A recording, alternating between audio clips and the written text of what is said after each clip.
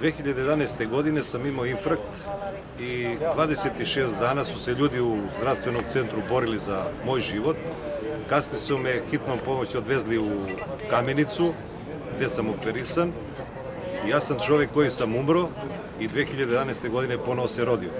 Smatram da ne treba svakome da se desi to što se desilo meni, da bi mogli ljudi da postanu humani.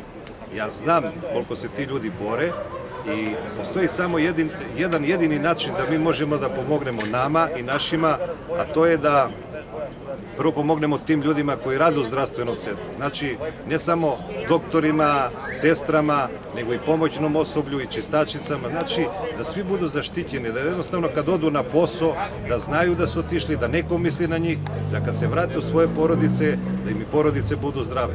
Ukoliko dođe do situacije da se desi nešto u bolnici, koja okuplja sve bolesne Bela Palanka, Babušnica, Dimitrovgrad i Pirot, mi smo mrtav grad.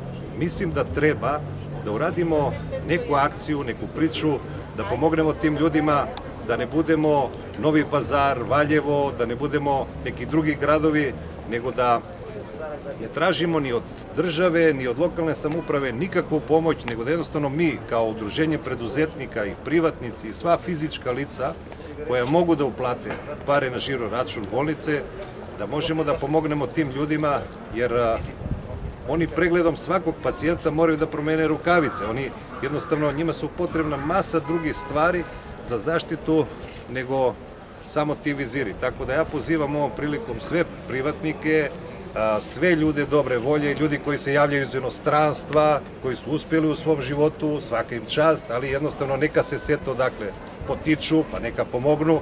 Sve ljude koji su sticem okolnosti ostali bez posla ili se vratili u naš grad, da i oni pomognu, jer oni žive u ovom gradu, odate potiču porodice i mislim da na taj račun što je rekao gradonačelnik, gde postoji uplata, gde mogu ljudi da uplate bilo koliko novca, da se kupe dodatna sredstva, jer ovo je samo početak neke akcije, jer a, na kraju bih teo da kažem, ajde da budemo mi taj grad gde neće da se desi ništa ili gde će da se desi to vrlo malo, da jednostavno iz ovo vreme prođemo svi jači i svi, ovo, i svima bude bolje.